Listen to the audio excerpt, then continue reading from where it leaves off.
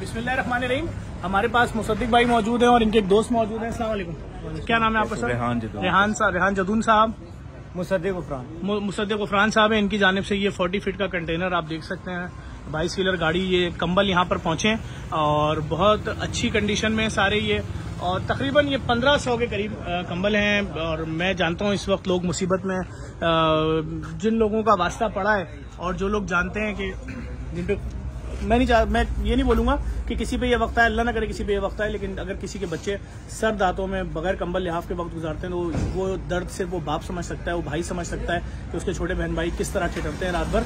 और मैं आपका सबसे पहले शुक्रिया अदा करूँगा भाई कि आपने बिल्कुल हम आपका आप आपने इस चीज़ के बारे में सोचा और इस तरह से क्या सिलसिला है? किसकी तरफ़ से अ, क्या है ये सब कुछ बताएँ लोगों को? ज़फ़र भाई हम एक्चुअली तीन चार दोस्त हैं जिन्होंने मिलकर ये बात सोची कि हम लोगों को जो कि हमारे भी बच्चे हैं डेफिनेटली सर्दियाँ हैं और महसूस होती है तो उसी सोच को लेके आगे चले हैं कि जो वो लोग जो कि खुले आसमान तले सोते हैं या स्लम एरियाज़ में रहते हैं जिनके पास रात को और सर्दियों में ओढ़ने के लिए लिहाफ नहीं है तो उनके लिए हम लोगों ने सोचा कि एक छोटी सी काविश आपका ताल्लुक पाकिस्तान के किस इलाके से? हम लोगों का ताल्लुक बेसिकली इस्लामाबाद से और कुछ दोस्त हैं मीरपुर के जिन्होंने मिलकर ये सारा मीरपुर आज़ाद कश्मीर? मीरपुर आज़ाद कश्मीर बिल्कुल मीरपुर आज़ाद कश्मीर। उन्होंने ये मिलकर सोचा और उसी हम लोग उसी कॉज को लेकर आगे पहले भी जेडीसी के साथ कोई प्रोजेक्ट नहीं पहले नहीं किया इंशाल्लाह फ़र्स्ट टाइम फ़र्स्ट टाइम है हमारा अलहमदिल्ला और इंशाल्लाह आगे हम लोग इसको कंटिन्यू करते रहें क्या मैसेज देंगे देखने वालों को भाई? रिसेंटली जो विज़िट किया है very impressive house of education visit किया आपका और मुर्दा खाना वगैरह।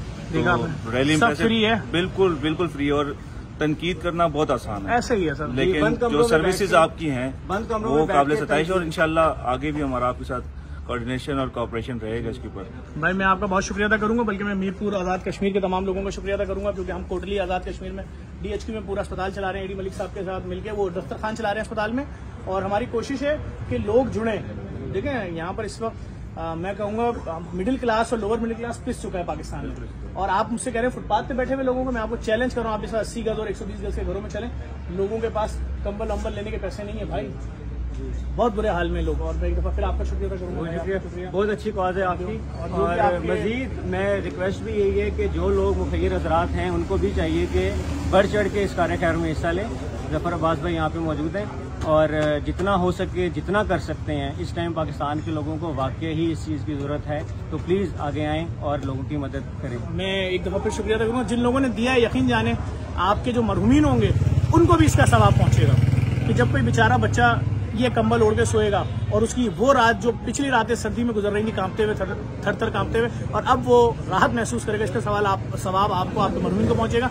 नेक काम है जेडीसी के साथ देते रहिए, चाहे फ्री स्कूल हो फ्री लैब हो फ्री मुर्दा खाना हो फ्री डायलिसिस सेंटर हो फ्री आईटी सिटी हो फ्री दस्तरखान हो, कुछ भी हो, सब लोगों को आसानियाँ पहुँचाने के लिए जेडीसी का काम जारी है। पर फिर बता दूँ, अगर पाकिस्तान के किसी भी इलाके में कोई तंजीम फ्री दस्तरखान चलाती थी और उसने लोगों की तनकीद की वजह से दस्तरखान बंद कर दिया, वो हमें बताएँ, हम खोलेंगे, हमें लोगों की. इस किस्म की तनकीद से कि भूखे को खाना ना खिलाओ, कोई डर महसूस नहीं होता रमज़ान आने वाला है, पहली रमज़ान से फिर वही चालीस से पचास हज़ार लोगों के लिए शहरी होगी और बगैर किसी तनकीद के डरे हुए शुतुरमुर्ग भी होगा, अच्छे खाने भी होंगे, हर वो खाना खिलाया जाएगा जो कोई महरूम आदमी ज़िंदगी में एक बार भी नहीं खा सकता, उनकी खिदमत की जाएगी, उनकी दावत की जाएगी बहुत शुक्रिया